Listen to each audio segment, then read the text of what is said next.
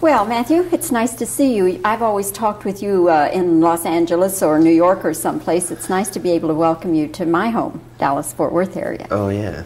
So uh, here you are now, uh, out promoting Biloxi Blues. As a matter of fact, the last time we talked uh, for Project X, we kind of touched upon the fact that you were doing Biloxi Blues. And uh, uh, even though it's been a long time since I have seen it on stage, I was aware that the script is different mm-hmm. for the movie. Now, why did Neil Simon, since he did both the screenplay and the, the uh, stage play, why did he feel it necessary to make these changes? Well, some changes he had to make in order to uh, make it a film. Uh, it had to be shortened, and it had to be uh, things that were outside and stuff like that were a little better because it was nice, nicer things to film. Uh, also, Mike Nichols directed the film version, and he didn't direct the stage version, so a new director makes a different uh, view of things. He worked with Neil uh, on the rewrites. He would suggest things to Neil that Neil would, they, they got along very well that way. And Neil would always do the writing, but often it was suggested by Mike. Are there any different characters? um, well, there are a couple of extra guys. Um, there's two two more guys, but they have very little parts. It's basically the same characters exactly. Uh, there's just two little parts added because it's a whole barracks this time rather than just six guys or whatever it was. Um, there's a huge barracks filled with men, so there's more little parts in it than there were in the play. Is a lot of the dialogue exactly the same, Matthew? Yeah, a lot of it is. Uh, a lot of it is just edited, it's just shortened. Um, and then there are some new things written in too. I think some, some really good new things, actually. I, I, I enjoyed the uh, film, and the differences made it easier for me in a way because I didn't want it to be like repeating a stage performance. So anything that was new was kind of a, a challenge and, and nice for me. What would be one or two new things? Uh, they were so nice, I don't even remember them. Uh, well, there's a there's a scene at the end with me and Sergeant Toomey, which uh, isn't in the play. Uh, there's in the scene with uh, Daisy Hannigan and me. Uh, there's a lot of dancing that's not in the play. There are a lot of times when, when we could take more time and not always be talking like in the play. There are a lot of things that are just visual or just uh, just moments, just reactions that are, I think, very nice. That dancing scene, I'm glad you mentioned that because um, that was a favorite scene of mine in the mm. film. I think that's a just lovely scene. Yeah, really. Thank you. Did you um, were you familiar with that uh, era of music? Yes, I was. Uh, my father was a big fan of that kind of music, uh, and I remember when I was in high school, I kind of stumbled on his record collection and started playing it a lot. So I, I, knew that music pretty well.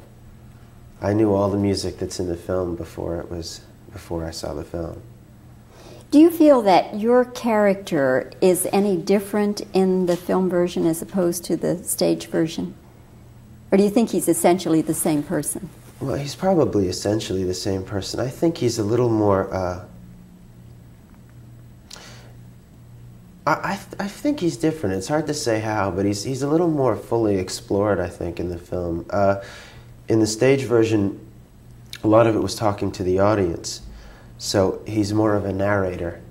And in the uh, film, most of that was taken out. There's some voiceover, but very little. And uh, they took stuff from the stuff that used to be talking to the audience and put it into the scenes. So he's more involved in the action and with the other actors than maybe a little bit than in the play. So that's a difference. Did you ever ask Neil how autobiographical this is? No, I never have. Uh, but some, some of it he mentioned, you know, had really happened to him. Some of it hadn't really happened to him. Do you think that he kept a daily journal? I don't know. I never asked him. Never asked him. Yeah, I doubt it. If you had to to choose one or the other, Matthew, the stage version over the movie, which do you think you would take? I don't know. I, I could never see. I never have seen the play. Uh, I was in it, but I never saw it after I was out of it. So it's a little hard to to get. You know, the only one I've seen really is the film. Uh, me, I sort of like the film better, but that's just that may be completely wrong. But I, I sort of like the film. I do too. Yeah, I, I like really it. do. Oh, good. Uh, there, well, there's just something about the way a film can open a story up. I, I felt Yeah. I, I got more from. Oh, that's From the because sometimes film. it's bad when a play is made into a movie. You lose a lot, but I don't think that happened this time. I hope not. I don't know, but because I, as I say, I haven't really seen the play. The uh, the language is a little less raucous, isn't it? In the- in the film? movie. A little bit, yeah. Yeah. Well, there was two versions of the play actually. It was, it was uh, more raucous, and then it, and then it was less later. He cut a lot of swearing out, changed it. It was nice when he when he cut it out in a way because he, he was forced to think of uh, of strange cuss words, you know, that, that aren't really bad to say, but that are pretty amusing. One of the, the fun scenes in the film is um, where you have the guys around you in the barracks and, and you play this game if you had one week to live. Right.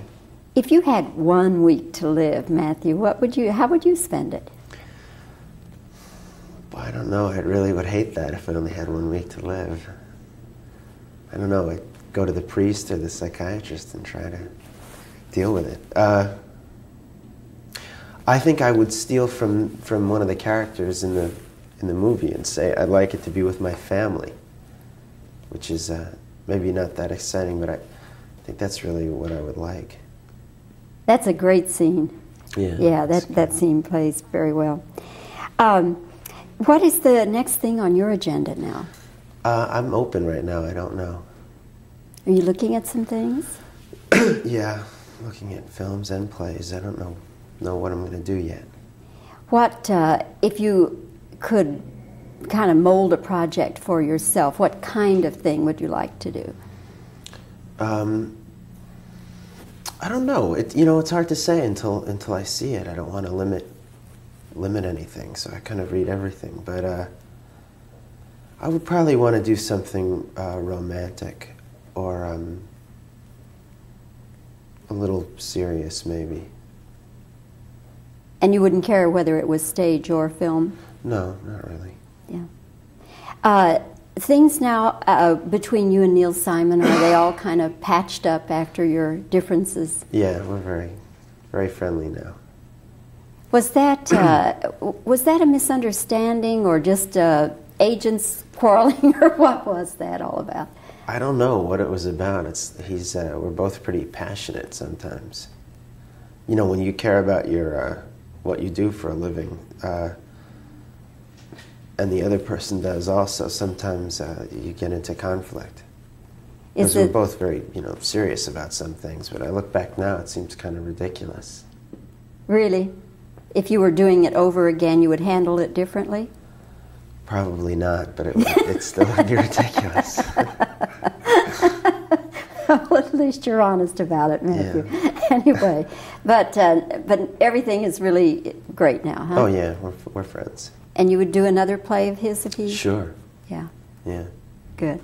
Well, Matthew, thanks for coming to Dallas, and it's wonderful to see you and to see you looking well. And and uh, I just hope the film does real good for you. Yeah, me too.